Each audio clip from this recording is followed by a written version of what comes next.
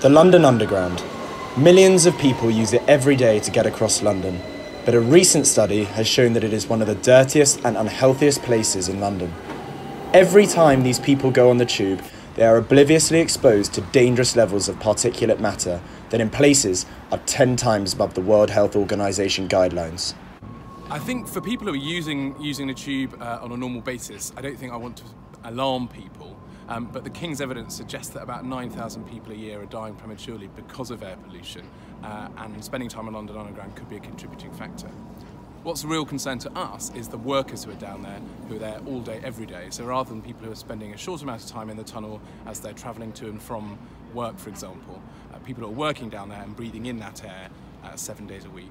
Breathing in polluted air can contribute to heart disease, lung disease, and a whole range of different health conditions. Uh, and there's mounting evidence that this is causing premature deaths in London. The British Safety Council is calling on the government to take action.